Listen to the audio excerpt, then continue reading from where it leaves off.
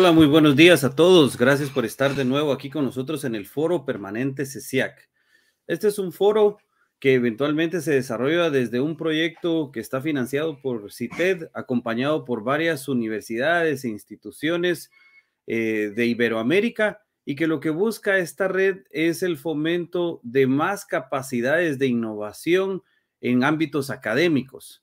Principalmente la red está siendo coordinada por la doctora Zoila Castillo de UTP en Panamá, pero existe una gran cantidad de universidades, de investigadores, de profesores que forman parte de esta red y año con año estamos buscando hacer cada vez más grande la red.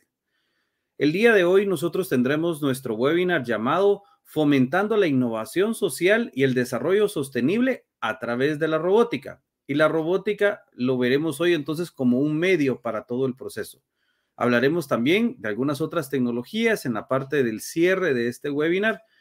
Y pues lo que buscamos con los expositores el día de hoy es tener un ámbito interactivo con ustedes. Esperamos eventualmente que ustedes puedan ser parte de, todo este proceso. Queremos que ustedes eventualmente sus dudas o comentarios nos las hagan llegar a través de lo que es el chat de YouTube. Ahí es donde nosotros tendremos nuestra interacción, ¿verdad? Nosotros podremos hablar con ustedes a través de esa parte. Entonces, colocando sus dudas o comentarios en el chat, nosotros tendremos la posibilidad de poder darles seguimiento a ustedes. Por ejemplo, pues ya nos han escrito varias personas, eh, como Edward, gracias por estar aquí con nosotros. Eh, Sonia nos comenta que ya estaba lista y antes que arrancáramos, Cristian Espinosa nos dice saludos desde Panamá. También nos saluda María Esperanza Ulín. Y también nos saludan desde El Salvador, Omar Flores. Entonces, lo que queremos tener es una amplia interacción con ustedes. Sigan enviando sus dudas, comentarios y como para ir conociendo la audiencia desde dónde nos visitan. Es bien importante que nosotros con los expositores sepamos dónde eh, es la audiencia.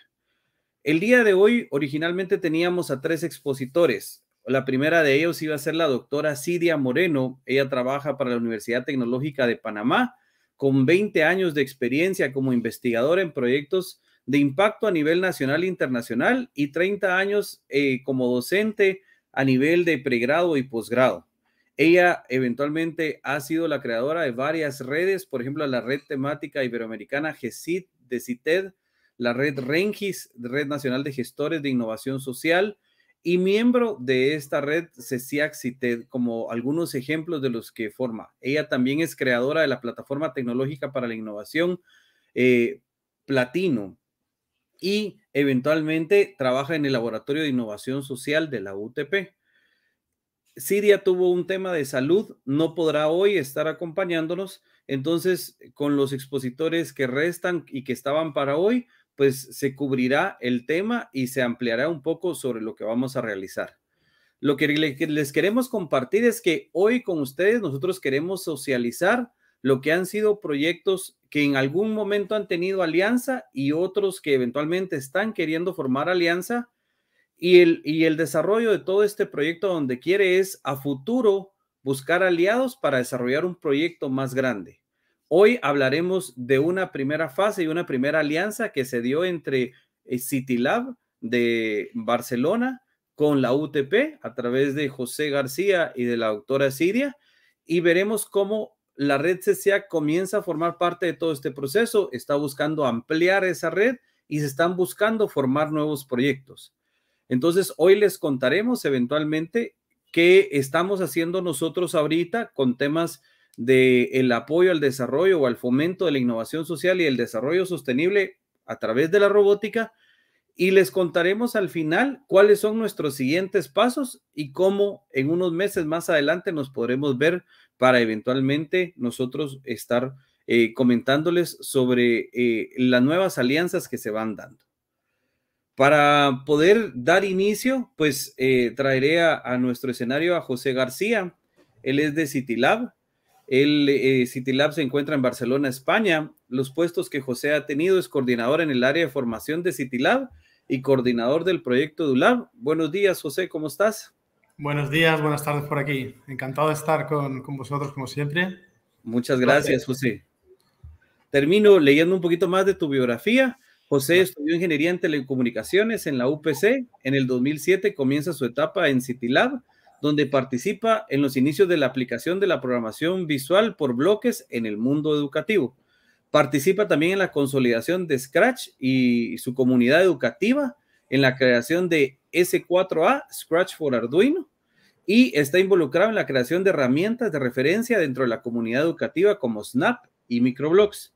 Actualmente, José coordina el proyecto EduLab, el cual tiene como objetivo fomentar la utilización transversal de la programación y la robótica en las escuelas para fomentar un pensamiento crítico, un pensamiento creativo, innovador y social.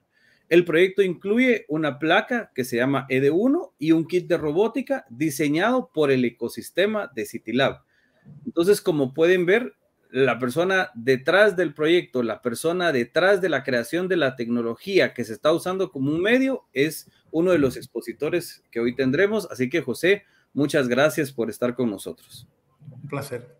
Y pues yo como host también comentarles que seré el otro expositor. Eh, yo iré después de José. Brevemente me presento, ingeniero en electrónica y sistemas de la Universidad Francisco Marroquín. Tengo un doctorado en tecnologías de la información de Universidad Galileo en cotutela con Telecom Sud París. Eventualmente, dentro de algunas cosas que yo realizo en Universidad Galileo es ser director de ingeniería en electrónica, ser director de un laboratorio de investigación y desarrollo que se llama Tesla Lab y eh, pues trabajar en proyectos de robótica educativa del Internet de las Cosas y que como estos van fomentando los pilares para un concepto de industria 4.0 ya tropicalizado implementado en nuestro país. Eh, proyectos STEM también son los que eventualmente se trabajan desde mi laboratorio, encontrando cómo conectar toda esa parte STEM con un posterior perfil de personas profesionales en el área de industria 4.0 y eso es lo que eventualmente estaremos hoy hablando. Antes de iniciar entonces, José, y dejarte la palabra, solo terminamos de saludar a la audiencia. Gracias, Pedro, por conectarte de República Dominicana. Gracias, Francisco. Ahí dices también República Dominicana, un gusto. Desde Guatemala, gracias, Obando, por estar ahí conectado. Nuestra buena amiga y mentora Ágata está ahí conectada desde Barcelona, España, ¿verdad? Y también Tatiana, que es parte de la red CESIAC. Así que Qué agrado tener a toda esta gente que nos va a estar escuchando hoy. Y bueno, José, sin más preámbulo, ya te dejo en uso de la palabra. Perfecto. Bueno, eh, antes que nada, pues eh, comentar que el, City Lab está cerca de Barcelona. Es una población de 80.000 habitantes que se llama Cornellá, no es el mismo Barcelona. Es importante comentarlo porque es básicamente quien, quien financia eh, el City Lab, ¿de acuerdo? Es más o menos el edificio que tenéis por aquí. Eh, ¿A qué nos dedicamos nosotros? Somos un, laboratorio ciudadano. Una definición de las eh, muchas que hay es un, instrumento para democratizar la innovación. Y lo que hacemos es desarrollar políticas de innovación social con los ciudadanos. Es muy importante con los ciudadanos, que en otros laboratorios no, no, se da tanto. Para nosotros es importante la colaboración y trabajar siempre con el, el ciudadano. Alrededor de la innovación tenemos el conocimiento, las personas, súper importante las ideas y evidentemente trabajamos por, por proyectos. Y nosotros tenemos una cierta especialización como laboratorio en innovación social y digital. Hay otros laboratorios que pueden tener eh, especializaciones en, en, industria, en ecología, en, en, diversas, en diversas áreas. Nosotros somos innovación social y digital, ¿de acuerdo? Eh, para no explicarlo con demasiadas palabras, he decidido poneros un pequeño vídeo de dos minutitos os explica todo lo que hemos hecho o un resumen de lo que hemos hecho en este 2022 y así creo que podéis tener una idea más clara de todo lo que se hace en el City Lab eh, con la ciudadanía. Eh, supongo que ahora Oscar me lo pondrá.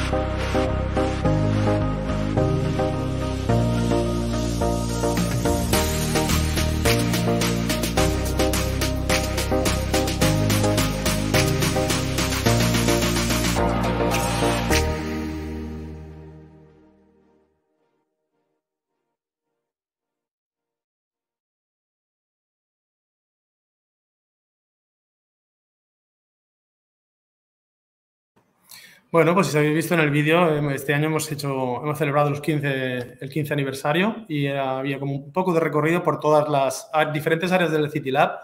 Yo me encargo del área de educación, que aquí llamamos eh, EduLab, ¿de acuerdo? Eh, en el cual damos competencias a la ciudadanía para que pueda innovar.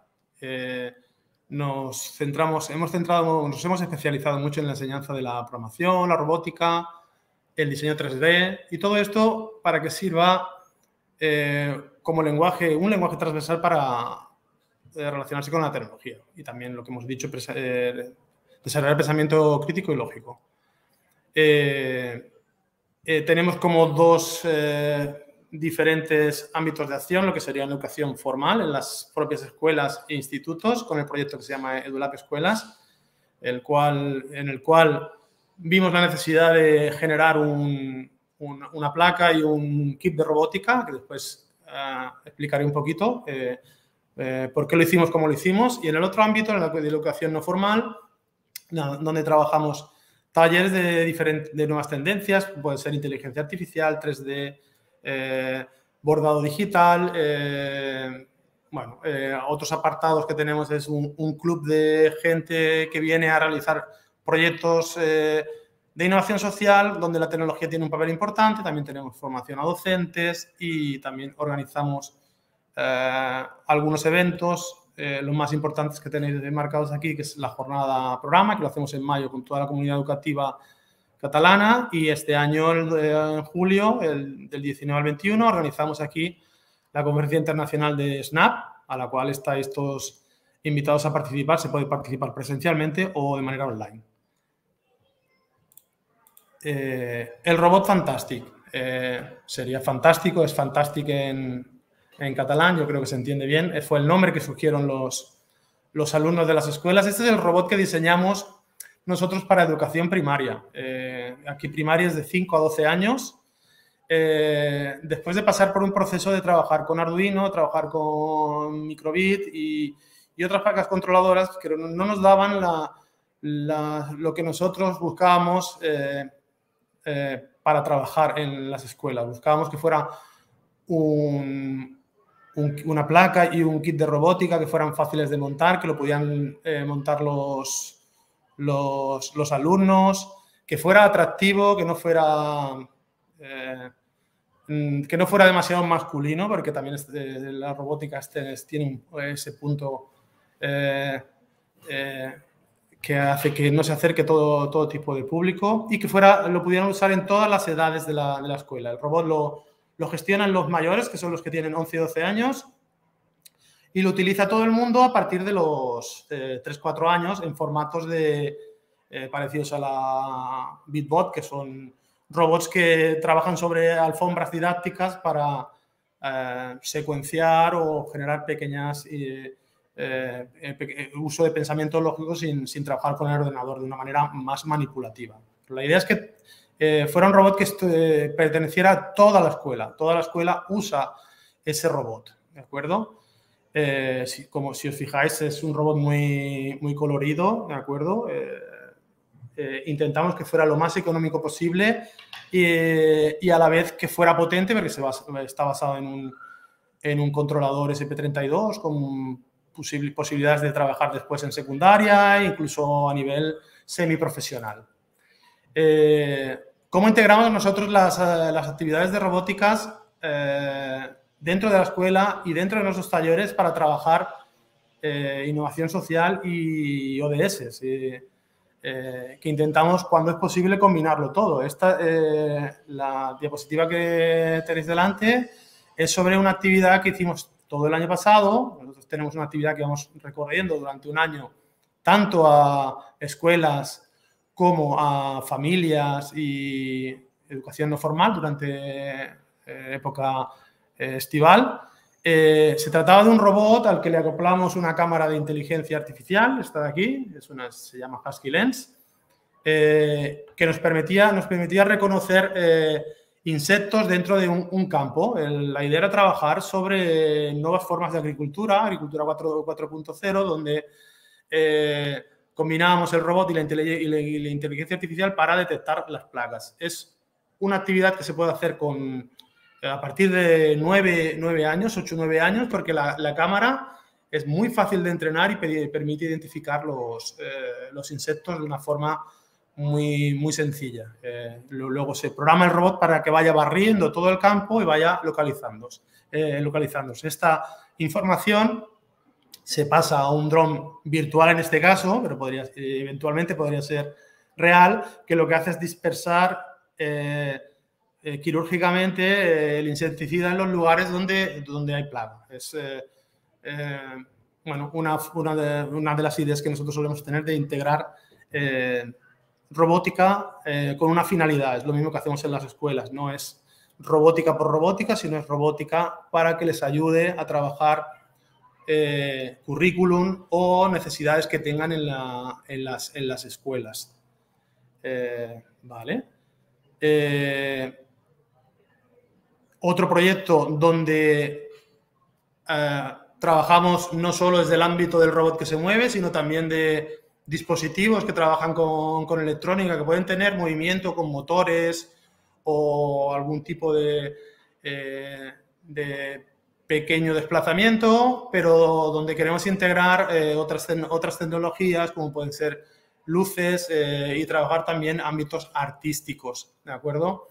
Esta es una actividad que programamos en noviembre del año pasado, donde solo, solo participaron chicas de entre 12 y 14 años, porque nos interesa mucho dos temas que empiecen muy pronto eh, y que también, también fomentar, fomentar eh, este tipo de, de, vocaciones en, en, las chicas, porque hay bastante déficit ah, aquí, supongo que es generalizado en todo el mundo. O sea, combinamos microelectrónica, movimientos, luz, eh, para hacer un pequeño montaje, una escultura eh, artística. Y además el tema era reflexionar sobre el papel de las mujeres a lo largo de la historia. Eh, de nuevo, eh, no eran solo referentes tecnológicos, que a veces les cuesta, era, podía ser cualquier tipo de, cualquier mujer o cualquier colectivo de mujeres. salieron mujeres artistas, como veis aquí con, la, Frida Kahlo, también eh, futbolistas como la Alexia Putellas del Barcelona o también eh, colectivos como las mujeres, las mujeres que habían protestado por el, por el velo en Irán. Y creo que también es una forma de trabajar eh, este tipo de, tecnologías de una manera creativa e interactiva.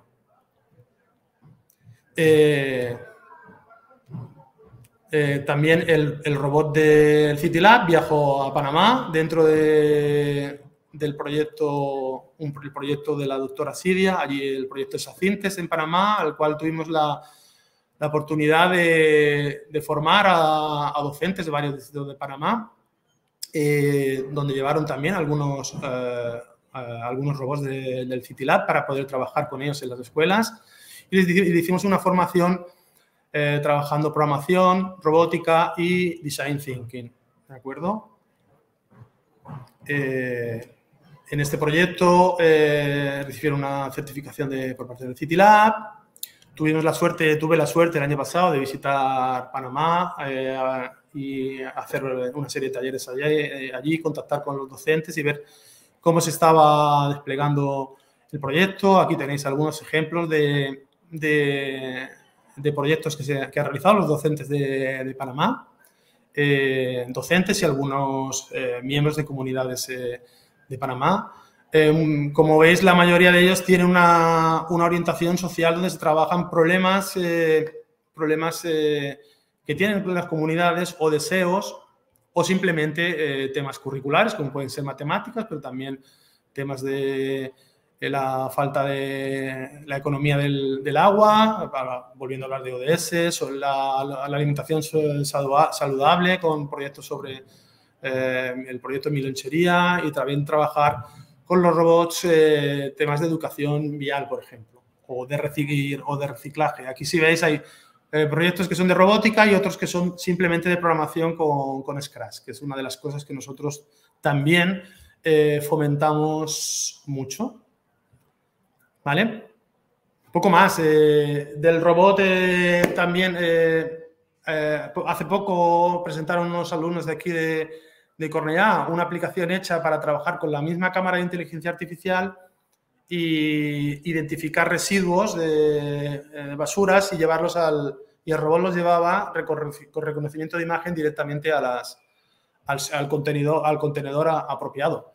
Eh, o sea, que se pueden generar eh, otro tipo de aplicaciones con el robot.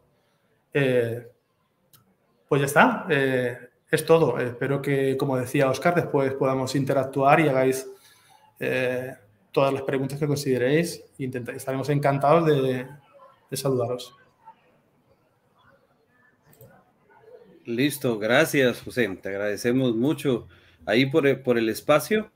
Eventualmente, em, pues comentarte, hay, hay, ya otras personas que se han conectado desde Venezuela, tenemos a Yoraima Rodríguez, Walter Reyes, creo que es de Guatemala, si no estoy mal, eh, porque conozco de una comisión, Francisco Castro habla desde Colombia, ¿verdad? Eventualmente también Diana Moreno. Así que muchas gracias a varios de ustedes, ¿verdad? Eh, eventualmente, pues yo creo que mm, eh, es, un, es un espacio. Dejaremos eh, avanzar el webinar y continuaremos viendo pues algunas de las dudas o comentarios ya de cada una de las presentaciones. Así que ahora pasaré a mi intervención. Gracias, José, y vamos a estar ahorita regresando para las dudas de la audiencia o comentarios. Perfecto. Pues bueno, Vamos a, comentarles un poquito. Entonces, ya escucharon un poco, pues, la, parte principal de, algo realizado de CityLab y que eventualmente comenzó a hacer las primeras alianzas y ahora eventualmente platicaremos un poco sobre lo que es la parte ya propiamente, pues, que estamos trabajando desde Guatemala, ¿verdad? Eh, comentarles primero, pues, eventualmente, Universidad Galileo es una universidad privada en Guatemala, para los que no logren ubicarla, es referente en el tema de tecnología, ¿verdad? Eh, eventualmente la facultad Galileo es, es, es, una universidad nueva desde el 2000, llamémosle así, en comparación a otras que existen en Guatemala, pero tiene una facultad de ingeniería que es donde, donde nace y donde sale, digamos, eh, toda esta serie de proyectos y eventualmente donde se han formado y desarrollado muchos profesionales que ahora son líderes en el ámbito tecnológico en Guatemala y estas personas eh, vienen de una facultad de ingeniería de otra universidad y esa facultad tiene una trayectoria de 45 años.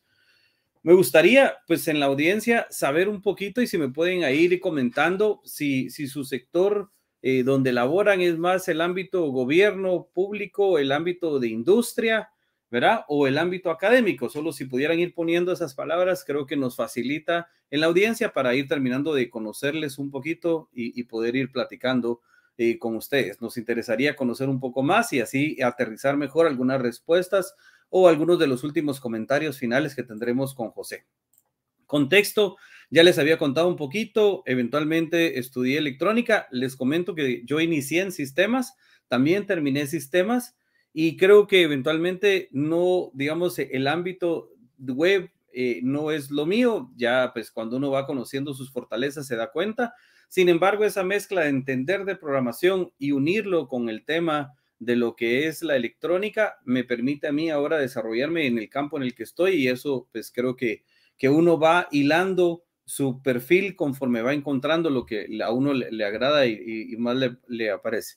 Eventualmente he tenido la oportunidad y actualmente dirijo ingeniería electrónica, una maestría que va relacionado a dos áreas de profesionalización en ese ámbito y un desarrollo y un, eh, laboratorio de investigación y desarrollo llamado Tesla Lab. Muy importante, Tesla Lab es un equipo multidisciplinario. Como logran ver ahí, hay gente de electrónica, hay gente de mecatrónica, eventualmente hay un perfil. Esto era hasta, digamos, hace unas semanas. Ahorita, pues el, el, laboratorio está teniendo algunos cambios. Y nuestras áreas de enfoque son principalmente la robótica educativa, el IoT y la parte del desarrollo de dispositivos electrónicos es lo que más nosotros estamos buscando ver y, tener, digamos, en, todos estos ámbitos. Entonces, ¿qué nos gusta a nosotros, si se dan cuenta, con este equipo multidisciplinario? Es desarrollar proyectos y eso es lo que nosotros queremos, digamos, en todos estos aspectos. ¿Qué nos motiva? Pues eventualmente al pertenecer a la red como tal, pues primero es desde la parte del ecosistema de innovación y tecnología existente en la región y donde la red CCEAC tiene impacto, pues nosotros queremos comenzar a realizar mucho más aportes, queremos fomentar esas capacidades de innovación. Y entonces, a través de este proyecto que estamos buscando desarrollar entre varios actores de la red CESIAC, lo que buscamos es poner a prueba una metodología, pero como le dicen coloquialmente, tropicalizada.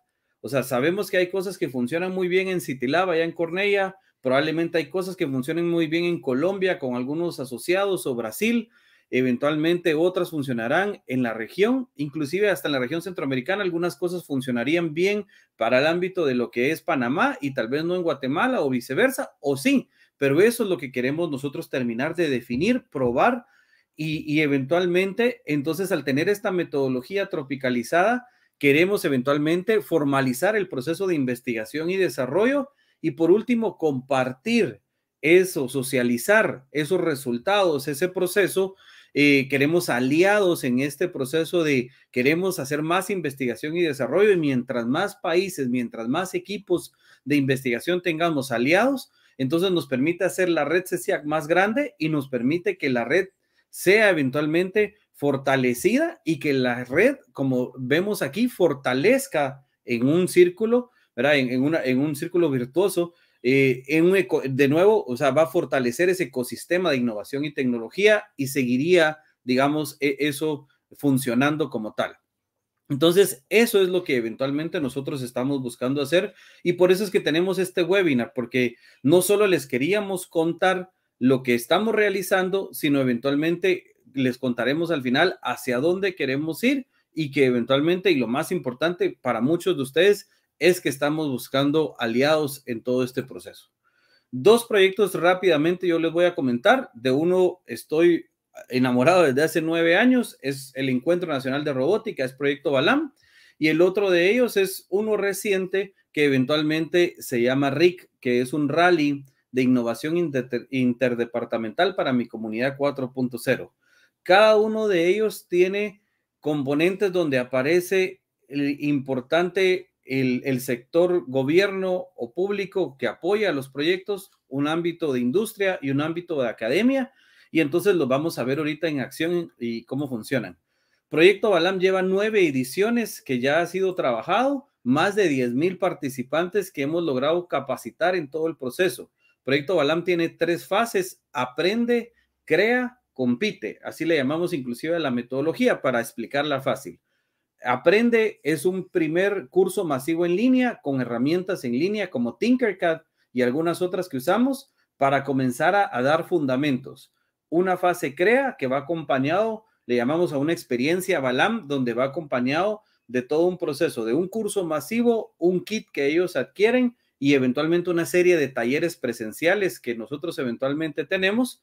Y por último, tenemos una fase compite que es donde eventualmente ponemos a prueba nuestro conocimiento y queremos eventualmente potenciar el talento de las personas.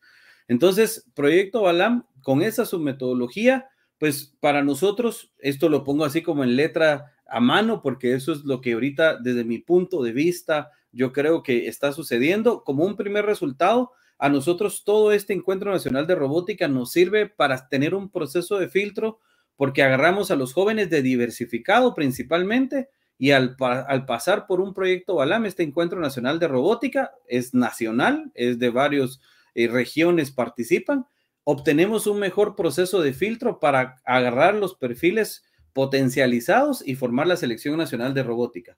Pero por el otro lado, el proyecto ha tenido un aprendizaje y ese aprendizaje ha sido que a nosotros mismos desde el equipo y posteriormente a los participantes les ha desarrollado de manera local las competencias técnicas para poder ellos desarrollar soluciones tecnológicas y muy importante, a que ellos eventualmente también comprendan que de manera local se puede desarrollar tecnología. Eso ha sido como un aprendizaje. Yo lo veo más que un resultado, como un aprendizaje, porque hemos tenido que pasar por varias capacitaciones, por varios procesos para eso. Y por último, pues sí, hay un obstáculo. Y comparándome contra otros proyectos grandes, brevemente le hablaré de uno de ellos, que es el resultado del proyecto Balam.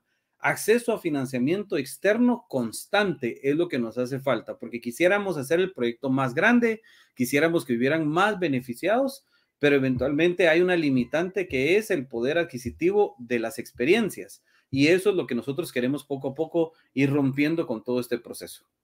Entonces, todo nace en algún momento con tener una idea. Y esto fue algo que con el equipo que ahí les mostré queríamos hacer.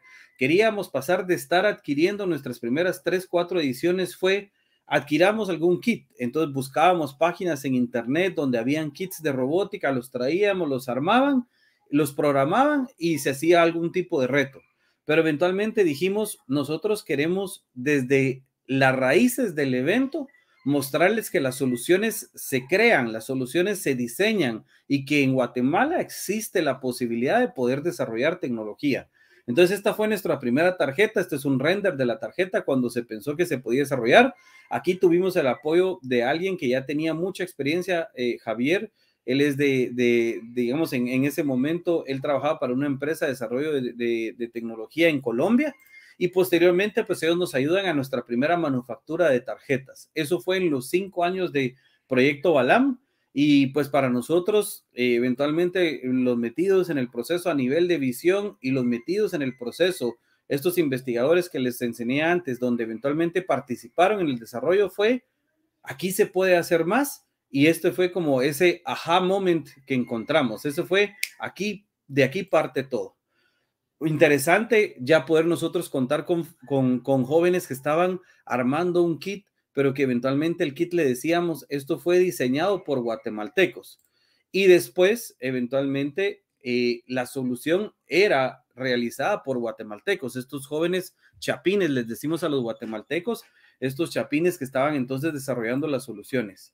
Eventualmente les compartimos algunos conocimientos de CAD y de CAM. Ellos tienen que terminar de hacer sus soluciones, como pueden ver, algún tipo de, mecanismo de agarre, algún tipo de mecanismo de acarreo. No todos eventualmente lograban desarrollar con sobre impresión 3D, pero sí autorizamos a que encontraran soluciones. Y muy importante, como ven a la derecha, el hecho de enchular o pimpear, le decimos su proyecto, porque eso los hace que se que se sientan parte de su proyecto, que se enamoren de su proyecto y que tengan identidad con su proyecto. Entonces siempre pedimos nosotros esa parte para los proyectos.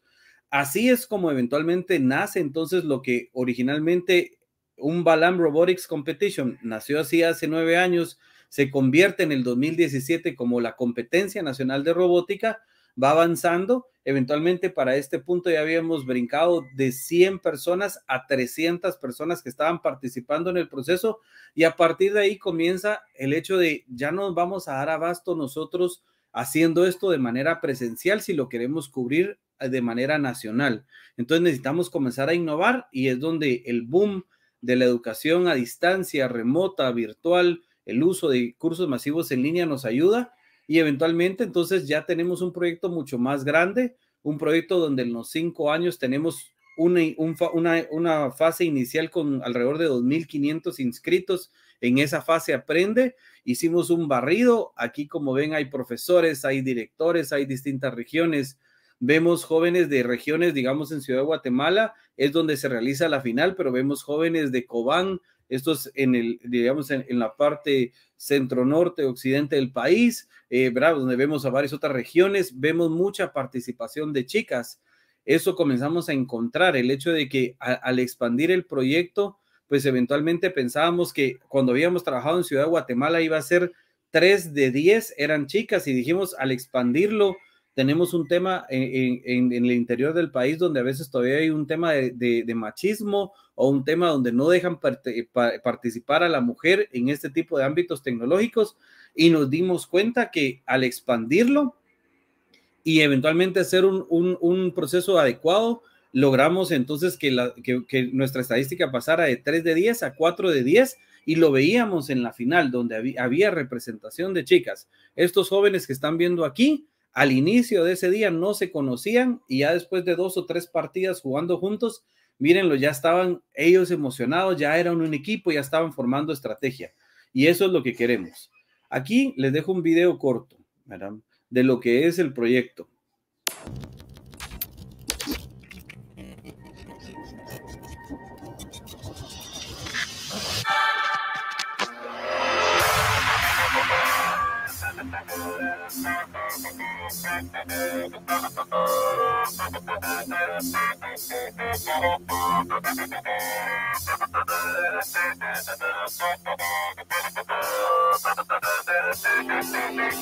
paneles de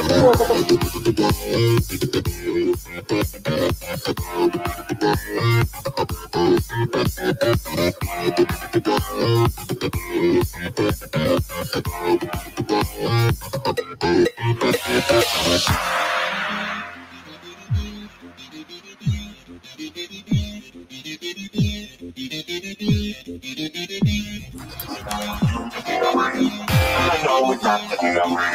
All I know is you to be a All I know is we to be a All I know is you to be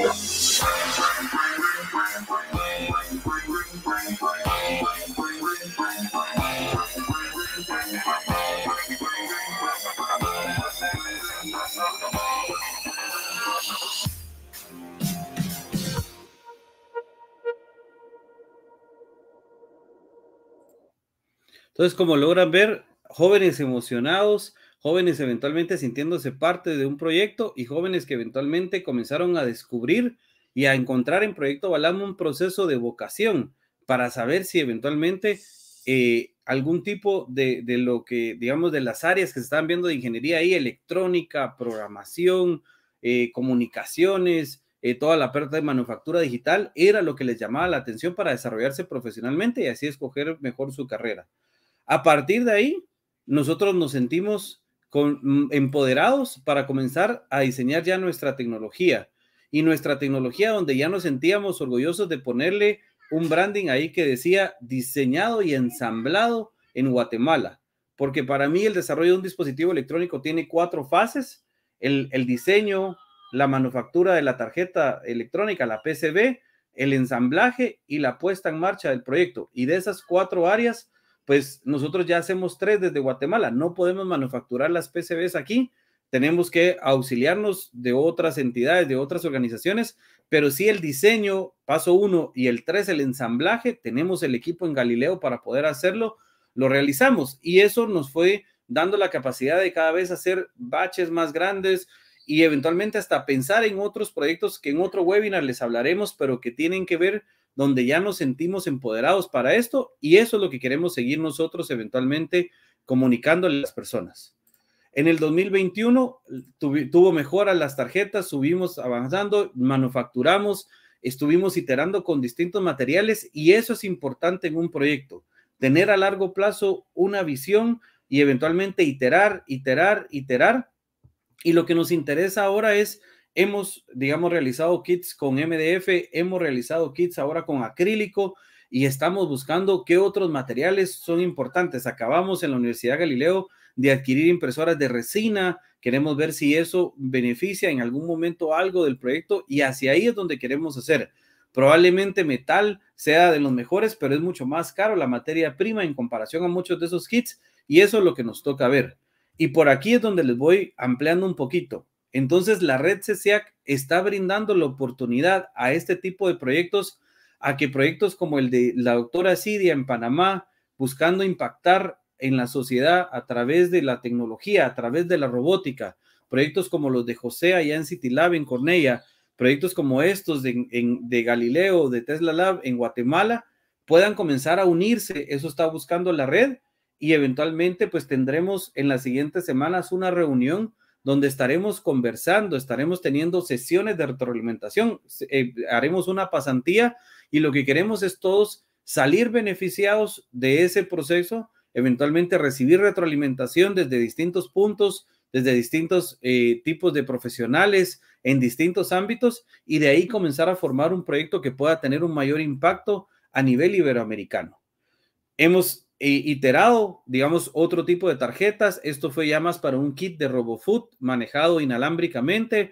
Esto fue para un concepto de Smart Garden, ¿verdad? Para poder enseñarle a los jóvenes sobre eso, sobre este concepto. Eventualmente también un tema de, de microsumo, ¿verdad? Para que ellos pudieran trabajar. Estos fueron las tres etapas de este año. El viernes pasado tuvimos la final donde eh, tuvimos una categoría de mini sumo, una categoría de RoboFood y una categoría de drones.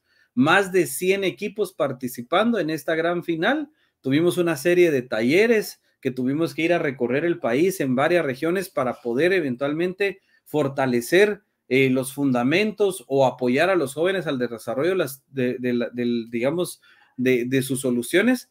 Y más importante, se da cuenta uno que el kit solo está siendo la excusa para que ellos prefieran una carrera STEM, para que ellos eventualmente se sientan empoderados para eventualmente desarrollar tecnología. Así que este proyecto, ¿dónde termina? Yo les comenté que uno de los resultados es el proceso de filtro para la selección nacional. Existe este gran proyecto mundial, es una, Olimpiada Mundial de Robótica, se llama First Global.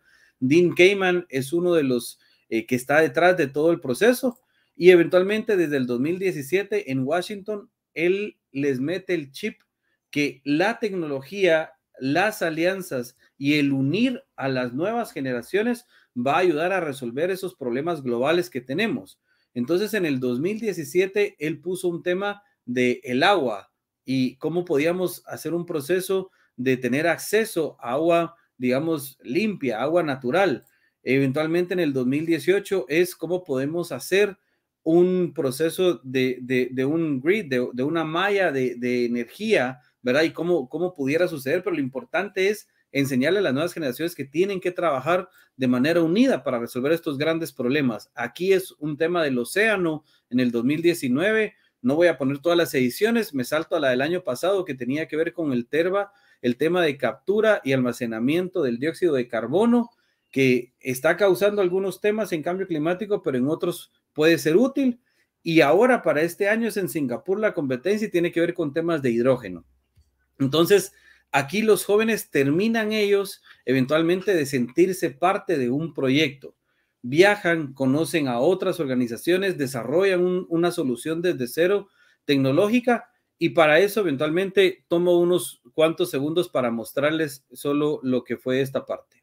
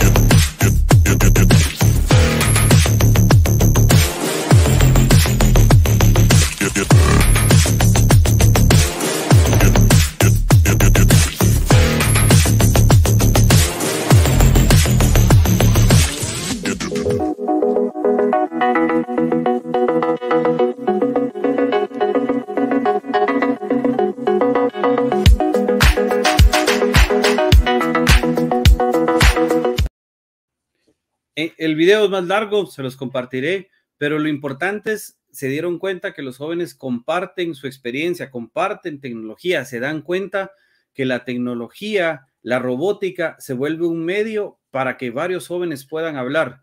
El inglés, por defecto, es el idioma, pero también se dan cuenta que hay varios países de Iberoamérica que pueden unir esfuerzos, se comparte las soluciones y se quiere eventualmente hacer que más equipos ganen. Y para un joven a sus 15, 17 años, viajar y estar en contacto con 190 países, 160 países y darse cuenta que hay jóvenes como él que están deseosos por aprender de tecnología y desarrollar soluciones, les cambia el mundo. Entonces, esto es lo que puede producir en un proyecto la robótica. Y el otro local que rápidamente les quiero hablar es sobre el rally que les había dicho.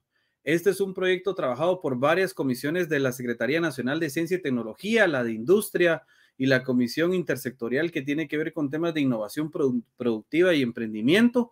En este año, Huawei apoya el proyecto para que eventualmente los jóvenes desarrollen soluciones y el RIC tiene tres ediciones, es, eh, digamos, más de 250 participantes, no es tan grande, pero eventualmente, ¿qué estamos buscando? El resultado ha sido la alianza entre sectores para un proyecto nacional, desde mi punto de vista. El aprendizaje, el desarrollo de una propuesta de metodología, que era lo que les decía que estamos buscando nosotros generar. Y eventualmente el obstáculo ha sido ese tema de que requerimos más fondos todavía y, que el equipo desarrollador ha ido cambiando por unos temas de gobierno y entonces hay que estar eh, iterando cada vez con nuevas ideas y no ha podido tener, digamos, una única visión a, largo plazo. Pero este rally eventualmente se centra en temas de innovación, es un proceso nacional y busca impactar a la comunidad 4.0, pero sus tres pilares importantes han sido que está metido gobierno, industria y academia ayudando a jóvenes a que desarrollen soluciones para hacer su comunidad una comunidad más nueva. Eventualmente, tres fases, ustedes pueden ver, con mucha capacitación, pero eventualmente tiene un apoyo donde se les busca a ellos acompañar para el desarrollo de un prototipo, tienen mentorías y eso es lo importante. Entonces, hay gente, por ejemplo, de la comisión, Luis Penados, se encarga de armar un grupo de personas en distintos ámbitos para que les dediquen a estos grupos de jóvenes 30 minutos durante dos o tres semanas en el desarrollo de su prototipo y que continuamente iteren y validen el proceso. Eh, en pandemia hicimos fases clasificatorias en línea, pero ahí estaban los jóvenes y se enamoran de su proyecto y se dan cuenta que ahí hay varios que tienen atrás algún tipo de, de background o de fondo que utilizaron y eventualmente pues llegamos a soluciones de agricultura, llegamos a soluciones de ahorro de agua, llegamos a soluciones de automatización y el mejor uso eficiente de energía, de cómo reutilizar eh, temas como el PET para otros, otros fines y hasta temas que tienen que ver con aprendizaje y lenguaje. Eso es como algunos ejemplos. Ya el año pasado logramos hacer una final eventualmente presencial. Aquí está la secretaria nacional, la licenciada Nachán, que eventualmente ha estado promocionando mucho. Y aquí hay presidentes o vicepresidentes de las comisiones relacionándose con los jóvenes y buscándoles abrir el, el hecho que emprendan, el hecho que solucionen estos problemas. Los ODS para este año que estamos trabajando, ahorita vamos iniciando la fase, pues estos son, ¿verdad? No, no están todos, pero varios de ellos tienen que ver y es hacia donde los jóvenes los han escogido. Entonces se les platica sobre el desarrollo sostenible, sobre esos grandes retos. ¿Qué buscamos al final con todos estos proyectos? Quitarles un chip de que sean consumidores de tecnología y volverlos productores de estas soluciones, y eso es lo que queremos hacer, ¿verdad? ¿Se puede? Sí. Aliados de CECIEC ya le estamos apostando. Vieron el caso de José y hay algunos otros que tendrán iniciativas similares, ¿verdad? Entonces debemos de apostarle a eso. Es importante ganar confianza entre los actores y muy importante, sí, el apoyo de gobierno y otras grandes organizaciones. Para cerrar mi intervención, cinco conclusiones. El proyecto, desde mi punto de vista, debe tener dos equipos grandes, uno de visión y alianzas y otro ejecutor. El ejecutor, mientras más joven, mejor, porque se entiende mejor con la audiencia. El equipo ejecutor debe ser multidisciplinario, año con año, e ir creciendo. Yo comencé con solo electrónicos, electrónicos y mecatrónicos. Ahora hay gente con competencias para edición de video, porque estos videos hay que hacerlos rápido. La gente quiere ver ya un aftermovie ahora y entonces necesito ahora gente de comunicación, gente de diseño, gente de logística, eh, gente, digamos, en la parte administrativa, financiera. El proyecto debe tener tiempo para iterar, madurar e innovar continuamente.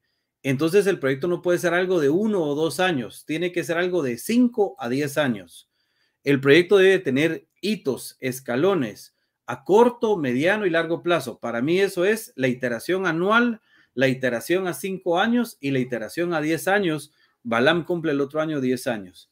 Y muy importante, las alianzas de gobierno, de industria, de academia y la comunidad, la sociedad, para que esto crezca. Si no esta comunidad no es parte de esos proyectos, no hay proyecto. Todo lo demás puede integrarse, pero no hay el fin, no hay la retroalimentación y no hay cómo mejorar eso. Así que agradezco contacto aquí de mi persona y del laboratorio que está detrás de todo esto y simplemente les dejo aquí algunos lugares icónicos de Guatemala, Huehuetenango, por las montañas, un bonito lago, el lago de Atitlán, el mundo maya que tenemos y la ciudad colonial de Antigua para invitarlos y que visiten. Así que con esto pues cierro mi intervención y traigo a José aquí para que eventualmente podamos eh, nosotros pues ya comenzar a atender las dudas, José, y los comentarios que venían. Gracias a la audiencia y eventualmente comenzaremos atendiendo algunas inquietudes o dudas que venían por aquí. Vamos a regresar. Franklin Castro nos decía esto por aquí, José. El chat para dominios Edu no abre, dice. Ah, ok. Eh, era un tema ahí del, chat, pero creo que ya se solventó. Gracias, Franklin, ahí por el tema. Aquí pregunta Edgar, dice, buenos días. Una pregunta, ¿estos programas están disponibles para otras instituciones educativas? En caso así, ¿cómo adquirirlos? Si quieres, te cedo la palabra eh, primero, José, y después veo yo. Bueno, nosotros eh, tenemos financiación básicamente local, pero luego podemos establecer acuerdos con, con quien quiera trabajar con nosotros eh, eh, de manera particular. Eso no, no hay problema, como, lo que hicimos con Panamá o con cualquier otro país. Es cuestión de hablarlo. Todo dependerá de nuestra disponibilidad de tiempo, etcétera, pero sí, sí son. Nosotros tenemos una, un espíritu de conocimiento abierto como, como institución y hay muchas cosas que podemos compartir y cuando se nos requiera también, eh, si entra dentro de nuestras posibilidades, estamos dispuestos a, a, colaborar, por supuesto. Muy bien, gracias. Algunos de aquí eventualmente estaban preguntando un poquito, como Franklin, eh, José nos decía un poquito sobre eh, la consulta sobre temas de, de, de, cómo se alimentan, cómo funcionan y costos, y sobre todo él hacía la mención porque dice, en mi caso es importante por restricciones económicas sociales, sobre todo para hacer actividades a nivel institucional, ¿verdad? Eh, él trabaja para el Estado colombiano, ¿verdad? Y, por ahí va un poquito su tema. Entonces, te cedo la palabra y después contesto. Sí, mira, eh, el robot, el, coste más importante del robot, es, aquí se ve bien, es la, la, placa que diseñamos aquí. Bueno, un poco cuando veía a Oscar eh, me veía reflejado de decir, nosotros también podemos diseñar hardware y podemos empoderarnos y y trabajar desde lo local. Y la, la, placa está igual que la de Oscar, diseñada aquí en el entorno con emprendedores, eh, programadores, diseñadores de, de 3D. Eh, y es el, costo más importante del, robot, porque el, nuestro, el condicionante económico era muy importante. Eh, el coste de la placa ahora creo que está por sobre unos 50 euros, una cosa así, más o menos. Y el resto del robot, eh, hay, diseños en 3D que te los puedes hacer tú. Eh, en nuestro caso lo estamos haciendo con corte láser para, por un tema económico, pero para pequeñas cantidades con 3D eh, queda perfecto y además, por ejemplo, las ruedas siempre nos han gustado más las de 3D, porque aparte de la placa solo tenemos dos motores, de este tipo de motores que son súper económicos, ya son unos paso a paso súper económicos, que valen 4 o 5 euros. Y ya la propia placa incorpora drivers para los motores, eh, aparte de sensores, placa color, etcétera. Eh, la idea es que todo el diseño estuviera muy, muy bien integrado y lleva una batería, que es un estándar que es el 16340, que también es bastante económico. Creo que por 4 o 5 euros se pueden encontrar, ponerle un, un 10% más en dólares. Es un, es un tipo de batería estándar que para un taller de un de un par de horas, tres, funciona perfectamente. Además, se carga directamente con el cable del robot. Nosotros queríamos que todo, todo estuviera integrado y que no hubiera que hacer muchas maniobras extrañas. el, coste global del robot pueden ser unos 70, eh, 80 euros. ¿Vale? Se podría bajar si se hace una producción más grande. Ahora estamos eh, en colaboración con bueno, con una iniciativa que ha salido aquí en Cataluña, donde igual los costes son inferiores, pero te estoy hablando del coste, el coste que tenemos más o menos ahora. Ok, y pues brevemente hago mi intervención contestándole a Franklin. En nuestro caso, digamos, nosotros lo que manejamos son, en este año fueron estas tres categorías.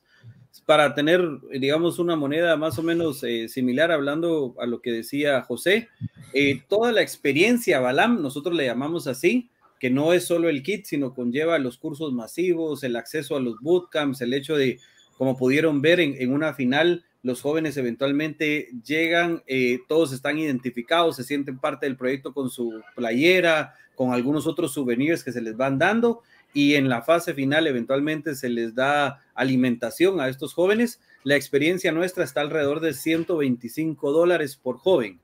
Eventualmente, al haber patrocinadores, eh, logramos obtener un proceso de becas para todos estos jóvenes y facilitar un poco.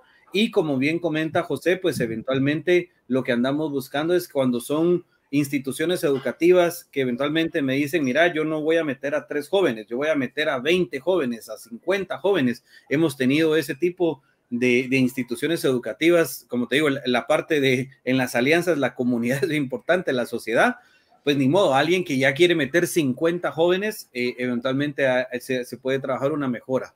Así que por ahí va un tema de las experiencias y cada vez pues buscando más patrocinadores y aliados para poder hacer este tipo de experiencias más económicas, ¿verdad?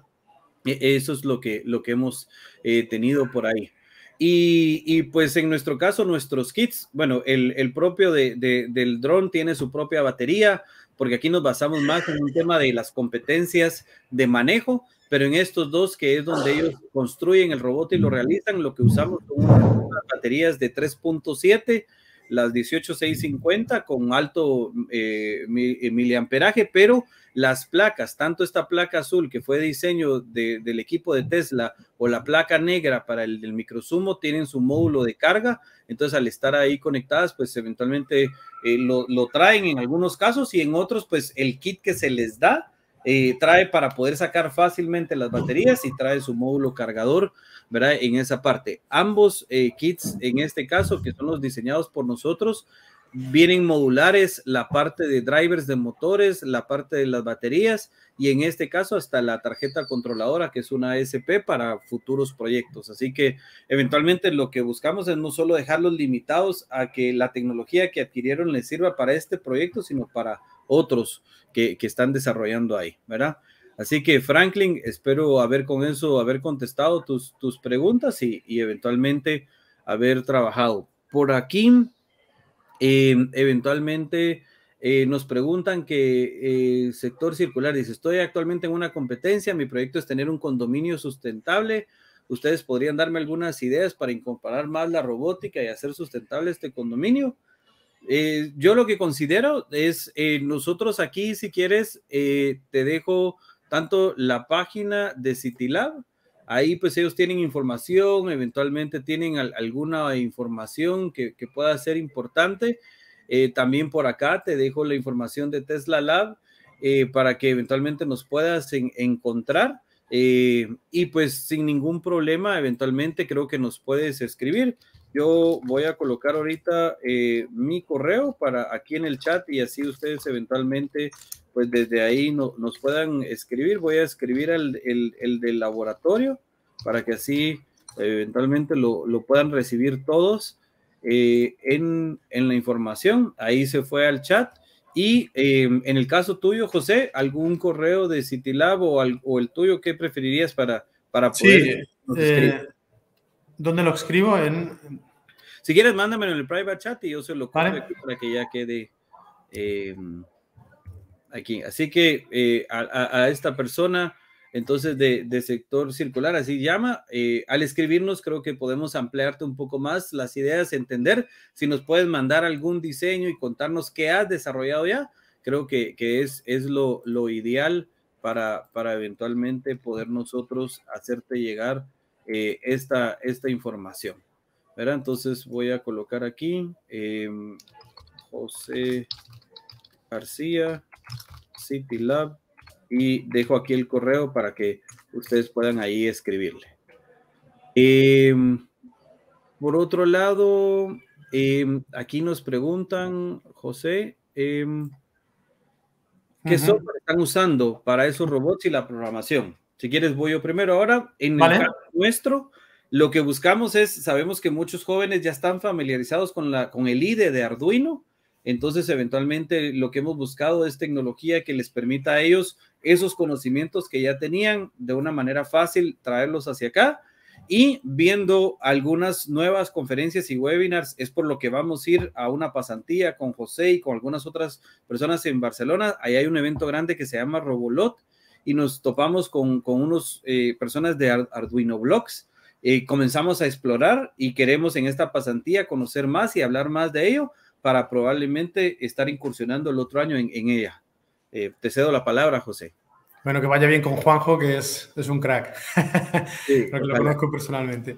Eh, nosotros, eh, como nuestro punto de entrada es con edades más jóvenes, siempre hemos trabajado con entornos de programación por bloques dinámicos, como puede ser Scratch, por eso diseñamos Scratch for Arduino, y ahora estamos trabajando con microblocks, que es un, un entorno relativamente nuevo que lleva el mismo equipo que diseñó Scratch originalmente y parte del equipo de Snap y el equipo, eh, y el equipo de, Snap for Arduino, ¿vale? Y es, eh, bueno, permite de, una forma, muy amable de empezar a trabajar con, con robótica y electrónica interactiva, ¿de acuerdo? Es eh, por bloques, dinámico, multitarea. Es muy interesante, si no lo conocéis, que le echéis un vistazo. La web es Micro, microblogs.fan, F-U-N, sí. Ok, muchas gracias. Em, por aquí, Diana eh, estaba preguntando sobre algún correo de contacto para posibles alianzas interinstitucionales. Entonces, como te mencionábamos, en el caso de Galileo eh, es este el contacto que ya mandamos. En el caso de CityLab eh, es aquí José. Y muy importante, eh, hay una red que es donde creo que si tú andas buscando algún tipo de alianza, búscanos a través de esta parte como red CECIAC. Ahí es donde estamos buscando tener más aliados para que estos proyectos puedan tener mucho más impacto, ¿verdad? Como, como tal. Em, vamos a ir cerrando por en aras del tiempo. Por aquí preguntan, mi nombre es Alex de Guatemala, felicito los espacios de diálogos. Mi pregunta es, ¿Cuáles son los ámbitos en los que se necesita más investigación y desarrollo? Imagino que para el fomento que nosotros estamos haciendo aquí, ¿verdad?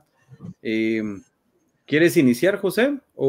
Bueno, yo creo que coincidiremos, Oscar, es, eh, está hacer, llegarlo al máximo, número de personas posible. Entonces, esto se, eh, se puede realizar con alianzas y con investigar la forma de hacer todas esas tecnologías más accesibles a, a todo el mundo, porque el precio es un condicionante eh, importantísimo. Entonces, cualquier iniciativa que tenga eh, que ver con producir este tipo de, de robots o de materiales de una forma más económica, yo creo que siempre está sin, sin quitar potencia y posibilidades, evidentemente. Son dos cosas que a veces se pelean, ¿no? Pero por ahí siempre hay posibilidades.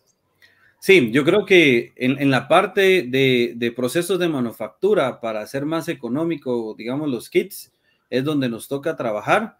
Eh, en, el caso, digamos, propio nuestro, es encontrar, digamos, cómo podemos eh, producir, digamos, de los cuatro fases que yo decía, el diseño, la producción de la PCB, el ensamblaje y, y el troubleshooting, hacemos ya tres de ellos, entonces me queda la producción de la PCB que es donde me toca hacer cómo puedo hacer yo algo más local sin tener que hacer una fábrica, ¿verdad? De, de PCBs, porque no, todavía el, ámbito de la región no es que vaya a haber una constante producción de PCBs. Entonces creo que ahí hay un tema.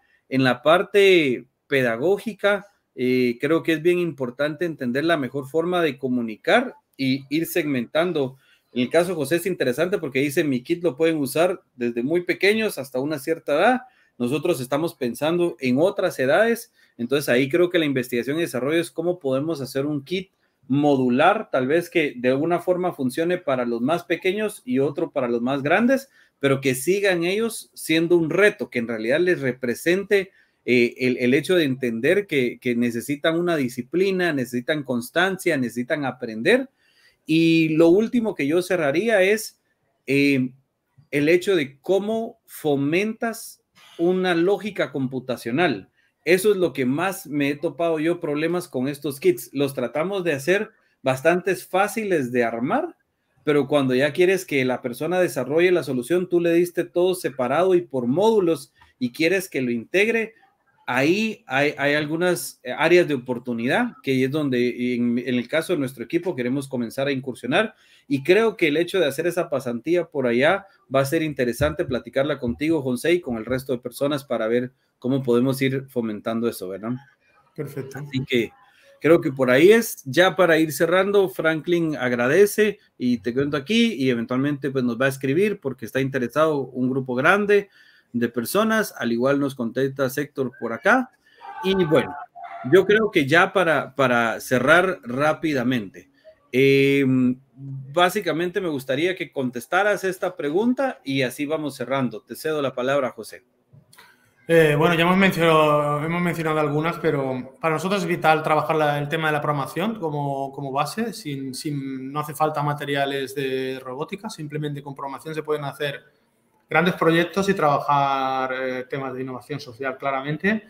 Y nosotros también hemos trabajado temas, eh, vosotros también, de diseño 3D, trabajar con impresión 3D. Y aquí también hemos tenido oportunidad de, trabajar con bordadoras digitales que hemos eh, conseguido que funcionen también con tecnología de programación por bloques y también abren otros caminos a ámbitos más eh, creativos y artísticos que también creemos que, que, son muy importantes. Porque nuestra orientación es tecnológica, evidentemente, pero intentamos que la tecnología quizá no sea el centro, sino la ayuda para trabajar eh, temas transversales o, o temas, temas de innovación, que lo incorporen dentro de su día a día para evitar precisamente ese tipo de barreras que comentabas, eh, eh, si la aplicación es muy cercana a lo que ellos hacen, eh, hay como más empeño, más ganas de, poder, poder, usar estas tecnologías. Ya te digo, 3D, electrónica creativa, bordado digital, son algunas de las que estamos trabajando nosotros. Bueno, aparte de IoT, temas de ecología, etcétera, que inteligencia artificial, que intentamos hacer algunas cosas.